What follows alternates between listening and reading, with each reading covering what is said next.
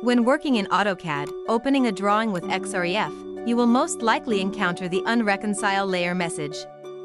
Or, when using the plot printing function, you will continue to receive notifications in the drawing that there are unreconcile layers. Annoying, right? How to turn off these notifications. Method 1. Select Yes or go to Layer Manager, select the top layer, hold Shift and click on the bottom layer. Right-click, select Reconcile Layer. That's it. Now you can use the plot command without encountering any notifications.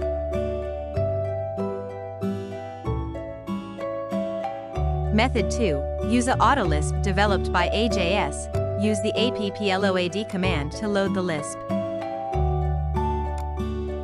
Remember to pick and drop it into the Contents folder to automatically load.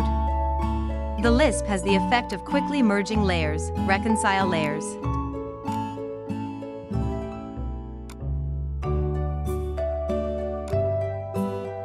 When opening a new drawing, you just need to execute the LAR command, the layers will be automatically merged reconcile.